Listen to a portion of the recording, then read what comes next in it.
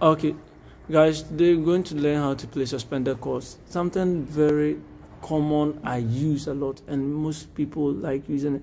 One thing you have to notice about keyboard is that there are a lot of stuff that we play, they don't have names. You just have to play, make the melody sound right, and that is why there are a whole lot of stuff people play.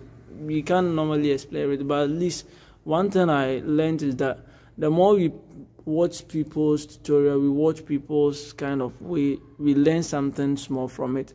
So make sure that you continue watching our tutorials. At least there might be something that uh, might come up or something you may see that you learn from it. But so today, let's just go to our lesson as planned. Suspended course. There are suspended course is very simple, and there are two ways of forming suspended course. Uh, chords. One of them is suspended second, and then the other one is suspended fourth. Forget about the lectures. Let's go to how it is played. Do you remember this chord? If you do remember, then you remember, you know that it is actually the uh, the do chord in the key of F, the F major uh, do chord. Uh, the way we want to play the suspended second, the first form of forming it is to bring the. Have you seen we numbered it when we were forming the inversion? So, or like when we were forming the chord. So this one is number one, two, three, four, five, six, seven, one. Right? Uh huh. This one, do is formed from one, three, and five. So do mi so is one, three, five.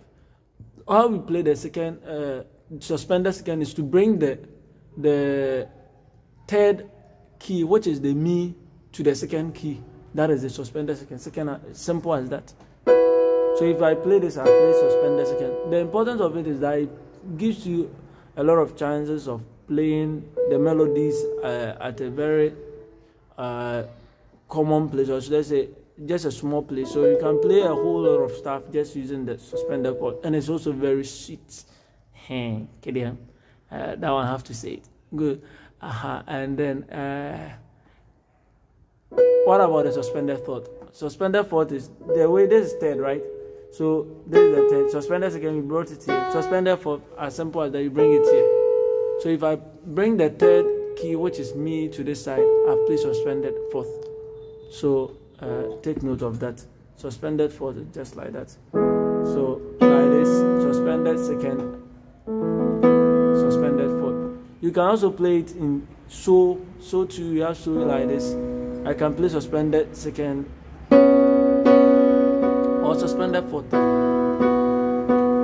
Right, suspended fourth, fourth, so. Suspended fourth for so is the same as the suspended second for though, but looking at the way we play, you see. Uh, what about uh, you can play also for fa. Fa is like this? Suspended second is like this, uh, and the suspended fourth is to bring the third one to the side. Uh, yes, we don't normally play that one, but at least but this one I'm sure you have seen it before. Uh, suspended, uh, suspended second for fa. Good. So thanks for learning this one. Uh, I hope you to see you using it in your course as you play songs. Bye bye, guys. Please like it.